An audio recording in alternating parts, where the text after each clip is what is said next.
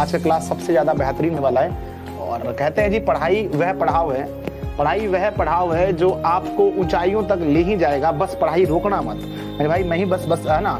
मैं आपको यही कहता हूँ कि कभी भी पढ़ाई को रोकना मत। घर में कुछ भी हो जाए, कोई परेशानी हो, कोई टेंशन हो, कुछ भी स्थिति हो, आपको पढ़ाई को नहीं रोकना है। ठीक है ना? क्योंकि पढ़ाई ही वह पढ़ाव है जो आपको ऊंचाइयों तक ले जाता है।